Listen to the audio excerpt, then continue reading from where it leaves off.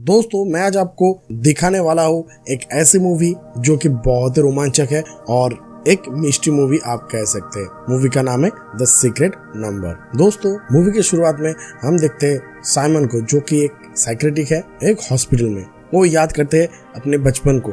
बचपन में एक एक्सीडेंट हुआ था और एक्सीडेंट में वे बच गया था। और इससे वे काफ़ी मायूस रहते हैं बीच बीच में। इसके साथ ही डॉक्टर साइमन के पेशेंट प्रोफेसर अरसाइन को इंट्रोड्यूस किया जाता है। जो कि एक मैथमेटिक्स जीनियस है। डॉक्टर साइमन के सामने वो अपने हाथ में एक बोर्ड को लेकर कुछ लिख रहा था और लिखने के बाद जब साइमन को दुआ वो बोर्ड तो साइमन ने देखा वहाँ पर एक से नौ तक डिजिट एक के बाद एक लिखा हुआ है और एक से नौ एक बार नहीं, चार पाँच बार लिखा हुआ है। साइमन चौक जाता है कि वे ये सब क्यों लिख रहे हैं और उनको कहते हैं, आपने तो सब कुछ सही लिखा है तो प्रॉब्लम क्या है? तो प्रोफेसर का कहना है कि ये जो मैंने लिखा है, ये गलत लिखा है। इनमें एक नंबर मिसिंग है। और वो नंबर है ब्लीम। और दिखा जाता है ये ब्लीम के बारे में ये प्रोफेसर साइमन को बार बार ज़िक्र कर रहे हैं और साइमन इससे बहुत नाखुश दिख रहे थे क्योंकि इसका एग्जिस्टेंस नहीं है। डॉक्टर साइमन ने कहा कि तो आप प्रूव कर दो। लेकिन प्रोफेसर ने कहा, मैं मैथमेटिशियन हूँ, मुझे ट्रस्ट करना पड़ेगा आपको। उस दिन डॉक्टर साइमन रात में घर जाकर प्रोफेसर के बारे में रिसर्च करते हैं। तो उन्हें पता चलता है कि प्रोफेसर कोई आम मैथमेटिशियन नहीं है। वे बहुत हाई लेवल के मैथमेटिशियन है। उनको बहुत अवार्ड दिया गया है। यहाँ तक कि उन्हें फील्ड्स मेडल भी दिया गया है। और फील्ड्स मेडल होता क्या है? फील्ड्स मेडल जैसे सिनेमा में ऑस्कर होता है हाईएस्ट लेवल के अवार्ड नोबेल होता है किसी कॉज के लिए हाईएस्ट अवार्ड वैसे ही मैथमेटिक्स में हाईएस्ट लेवल का जो अवार्ड होता है, वो होता है फील्ड्स मेडल और ये देख के डॉक्टर साइमन चौक जाता है। डॉक्टर साइमन और भी चौक जाता है। ये देखकर कि प्रोफेसर की कोई मेंटल इलनेस की हिस्ट्री नहीं है। और कोई ट्रॉमा से भी नहीं गुजरे हैं। तो क्या प्रोफेसर सही कह रहा था? ब्लीम नंबर क्या सही में है? तो अगले दिन डॉक्टर साइमन को दिखाया था चेम्बर में, प्रोफेसर के साथ बातचीत करते हुए। डॉक्टर साइमन प्रोफेसर को पूछते हैं कि ये ब्लीम है क्या? प्रोफेसर का कहना है कि ये ब्लीम एक नंबर है, जो कि हिडन नंबर है, जो कि हम लोग नहीं जानते और वो जो नंबर है, वो तीन और चार के बीच रहता है। हम लोग एक, दो, तीन, चार ऐसे पढ़ते हैं, लेकिन ये होगा एक, दो, तीन, ब्लीम, चार। पाँच, छह, सात ऐसे करके। मतलब ब्लीम नाम का ये जो नंबर है, ये तीनों चार के बीच आ जाएगा। तो डॉक्टर साइमन कहते हैं प्रूफ कीजिए। उनके सामने कुछ जेलीबिन रख देते हैं और कहते हैं कि, यहाँ से ब्लीम नंबर ऑफ़ जेलीबिन अलग कीजिए। मतलब एक जेलीबिन उठाने को कह देंगे तो एक उठाएँगे, दो कह देंगे तो दो उठाएँगे। तो ब्लीम नंबर कितना नंबर होता है एक्चुअल में प्रैक्टिकली वो देखने के लिए उन्होंने ये जेलीबिन दिया था। तो उसके बाद प्रोफेसर ने शॉटिंग शुरू कर दिया। लेकिन कुछ देर बाद प्रोफेसर खुद भी समझ पाए कि वे ये प्रूफ नहीं कर पाएँगे। तो गुस्से में सभी जेलीबिन जो है इधर उधर फेंक दिया प्रोफेसर ने। तब डॉक्टर साइमन कहते हैं कि आप प्रूव नहीं कर पाए। तो प्रोफेसर कहते हैं कि मैं प्रूव कर सकता हूँ, लेकिन कोई एक्सटर्नल फोर्स है जो कि हमें प्रूव नहीं करने दे रहा है। डॉक्टर साइमन तब कहते हैं कि मैं तो आपके साथ यहाँ पर ही था, मेरे सामने सब कुछ हुआ है, कोई भी एक्सटर्नल फोर्स नहीं था। तो आपका जो ये बात है, मैं नहीं मानता हूँ। तो प्रोफेसर ने कहा कि मुझे पेन और पेपर दीजिए, मैं वहाँ पर आपको प्रूव करके बता दूँगा। डॉक्टर साइमन ने कहा कि आज नहीं, किसी और दिन देखेंगे। पेन पेपर के बारे में सोचेंगे। तभी तो प्रोफेसर को दिखता है कि एक मार्कर पेन फ्लोर में गिरा हुआ है। तो वो उठा लेता है और अंदर छुपा लेता है। और डॉक्टर साइमन गार्ड्स को कहते हैं मतलब सिक्योरिटी गार्ड्स को कहते हैं कि प्रोफेसर को उनके रूम में छोड़ दिया जाए। मतलब ये तो है मेंटल हॉस्पिटल तो उन्हें वहाँ पर छोड़ने के लिए कहा गया है। तो प्रोफेसर को उनके रूम 304 में छोड़ दिया गया और 304 इस मेंटल हॉस्पिटल की सबसे स्ट्रॉन्गेस्ट सिक्योरिटी वाला रूम है। तभी दिखाया जाता है कि डॉक्टर साइमन वहाँ से एक जेलीबिन उठाते हैं और जेलीबिन से अपने बचपन की वो घटना याद आ जाता है। क्योंकि बचपन में उस घटना के बाद वो सेम टाइप का जेलीबिन मिला था, जिसे कार चलाते वक्त डॉक्टर ने उड़ा दिया था और एक्सीडेंट होने के बाद डॉक्टर तो बच गया, लेकिन जिसका एक्सीडेंट हो गया था वो मारा गया था। तो डॉक्टर इसके बाद घर जाने के लिए लिफ्ट में उठा। तभी वे देखे कि जब फिफ्थ फ्लोर से फोर्थ फ्लोर तक आने में जो टाइम लगता है, उससे ज़्यादा फोर्थ से थर्ड फ्लोर तक आने में लगता है। और थ्री से टू तक आने में नॉर्मल टाइम लग रहा है। मतलब तीन और चार के बीच जो टाइम है, वो एक्स्ट्रा टाइम लिया जा रहा है, वो लिफ्ट द्वारा। तभी वो सोचा, ये क्या ब्लीम हो सकता है? हालाँकि वे बाहर आ गए और घर जाने लगे। घर जाने के बाद वे और भी रिसर्च करने लगे ये ब्लीम नंबर को लेकर। तभी पता चला कि प्रोफेसर को एक कॉन्फ्रेंस में अपने आउटबर्स्ट के लिए अरेस्ट किया गया था। तो अभी डॉक्टर साइमन अपने साथ जो प्रोफेसर की बातचीत हुआ है, उनका जो रिकॉर्डिंग किया गया है, वो रिकॉर्डिंग बारीकी से सुन रहे थे। तो रिकॉर्डिंग से एक जगह पर पता चला कि ये यूनिवर्स में एक नंबर ऐसा है, ये ब्लीम नंबर जो कि सबके बस के बात नहीं है, ढूंढना।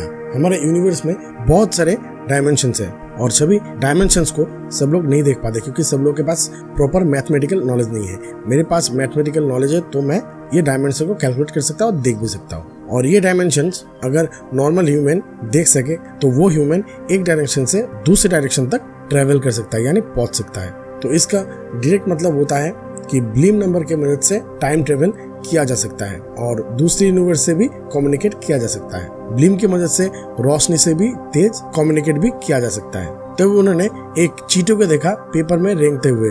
तब ये एनिमल लवर है डॉक्टर साइमन इसलिए वो चीटी को बाहर जाकर फेंक देता है, ताकि चीटी को कुछ नुकसान ना पहुँचे। इसके बाद दिखाया जाता है डॉक्टर साइमन बार में बैठा हुआ है और ड्रिंक कर रहे हैं। और प्रोफेसर के बारे में ही सोच रहे हैं, क्योंकि उसकी जो बातें हैं, उसके बाद डॉक्टर साइमन को हर वक्त परेशान कर रहा था क्योंकि क्या है, इसका सीक्रेट क्या है, वगैरह वगैरह। तभी डॉक्टर कुछ बादाम तोड़ रहा था और उस वक्त डॉक्टर देखते हैं कि एक बादाम अपने आप बस्ट हो जाता है और ये देख के चौक जाते हैं डॉक्टर तभी पास में बार का जो ग्लास है, वहाँ पर देखते हैं, वहाँ पर उन्हें नज़र आता है कि वही प्रोफेसर एक मार्कर पेन से मैथमेटिकल कैलकुलेशन कर रहा था, वो क्लास पे। ये देख के वो चौक गया क्योंकि प्रोफेसर को तो अभी मेंटल हॉस्पिटल में रहना चाहिए, वो सिक्योरिटी में। तभी ये बाहर निकला और प्रोफेसर का पीछा करने लगा। जाते जाते एक सुनसान जगह पे आ पहुँचा। आसपास बिल्डिंग है, लेकिन पूरा वीरान है सब जगह, कोई भी नहीं है वहाँ पर। तभी वहाँ पर देखते हैं कि एक टीवी में न्यूज़ चल रहा है, उसी एक्सीडेंट का जो कि बचपन की एक्सीडेंट था। वहाँ पर कहा जाता है कि वो बुरे लोग जिसका एक्सीडेंट हुआ है, तीन दिन तक उसे आइडेंटिफाई नहीं किया जा पाया है। और नीचे बैठ के उन्हें का ही जो बचपन था, बचपन वाला बच्चा वहाँ पर बैठ के वो न्यूज़ देख रहा था। तभी जब डॉक्टर उल्टा घूमा, तभी नींद टूट जाते डॉक्टर का, यानी डॉक्टर साइमन ये सपना देख रहा था। और सपना टूटा क्यों? क्योंकि एक फ़ोन कॉल आया था। और फ़ोन में पता चला कि वो प्रोफेसर अपने रूम में नहीं है। तभी डॉक्टर अपने गाड़ी लेकर तुरंत हॉस्पिटल में जाते हैं और वहाँ पर देखते हैं वार्ड बॉय जो है, जिन, वे डॉक्टर को कहते हैं कि प्रोफेसर को कुछ देर पहले ही हम लोग देखे थे, लेकिन कुछ देर बाद जब डबल चेक करने के लिए गए, तब प्रोफेसर वहाँ पर नहीं था। सब लोग हैरान थे कि एक नॉर्मल से प्रोफेसर वहाँ से कैसे गायब हो सकते हैं। तभी वे लोग जाते हैं 304 वाला रूम में और देखते हैं कि प्रोफेसर एक मार्कर पेन से पूरे दीवार में बहुत सारे मैथमेटिकल कैलकुलेशन किए हैं और फ़र्स्ट में एक मार्कर दिखता है और साथ में दिखते हैं तीन जेलीबिन वहाँ पर रखा। जैसे प्रोफेसर उनको दिखाने की कोशिश कर रहा था, जब डॉक्टर साइमन उन्हें प्रूव करने के लिए कहे थे। इसके बाद दिखाया जाता है उनके बचपन की वही वारदात, जहाँ पर वही ब्लैक मार्कर को बिना ढक्कन के दिखाया गया है और साथ में पड़ा हुआ है जेलीबिन तभी जीन आता है और एक जेलीबिन उठाकर अपने मुँह में देने जा रहा था, तभी डॉक्टर साइमन जिन को रोकने वाला ही था कि वे, यानी जिन ने वो जेलीबिन निगल लिया। तो अभी वहाँ पर तीन जेलीबिन में एक जेलीबिन जिन ने ले लिया तो दो जेलीबिन लेना चाहिए। लेकिन तभी देखते हैं डॉक्टर कि वहाँ पर तीनों के तीन ही मौजूद है। और अभी वापस से डॉक्टर को अपनी बचपन की याद आ जाता है। अभी क्लियरली सब दिखने लगता है डॉक्टर। और देखते हैं वो एक्सीडेंट में जिसका देहांत हुआ था, यानी जो मारा गया था, वो कोई और नहीं, ये प्रोफेसर ही थे। मतलब डॉक्टर की बचपन में ये प्रोफेसर इस उम्र में थे। और इसके साथ मूवी एंड हो जाता है। लेकिन दोस्तों, आप लोग शायद कंफ्यूज होंगे। तो मैं आपको बताता हूँ क्या हुआ था। दोस्तों, ये मूवी जो है, ये मूवी टाइम ट्रेवल के ऊपर बेस्ड है। ये प्रोफेसर पूरा जीवन लगा दिया था ये ब्लूम नंबर डिस्कवर करने के लिए। मतलब टाइम ट्रेवल कैसे किया जाए, वो डिस्कवर करने के लिए। लेकिन प्रोफेसर था बंद वहाँ पर कोठरी में। तो इसलिए प्रोफेसर इसे प्रूव नहीं करवा था तो इसलिए सब लोग प्रोफेसर पे हंस रहा था और उन्हें मेंटल सिक बता दिया। पहले जो अरेस्ट होना हुआ था, उसके बाद से अभी मेंटल हॉस्पिटल में इसलिए लाया गया उन्हें तो वहाँ पर ब्लीम नंबर डिस्कवर करने के लिए कुछ औज़ार ना होने के कारण वो जो मार्कर पेन था, वो मार्कर पेन से अपने पूरे जो थ्योरी है दीवार में लिखा और जब ब्लीम नंबर डिस्कवर हुआ, तब वे टाइम ट्रेवल करने लगे। तो टाइम टेबल करके पहले बार में चला गया, बार में दिखा डॉक्टर साइमन को तो तभी वे वहाँ से भाग के दूसरे टाइम में चला गया, जो कि दिखाया गया डॉक्टर साइमन की बचपन। और तभी वहाँ पर जाके रोड क्रॉस करते समय प्रोफेसर का एक्सीडेंट हुआ था डॉक्टर साइमन की कार से। और ये मूवी में ये भी समझाने की कोशिश किया गया, आपको अगर कुछ दिया जाता है, भगवान या फिर कोई भी जो देते हैं, उसका सही इस्तेमाल कीजिए।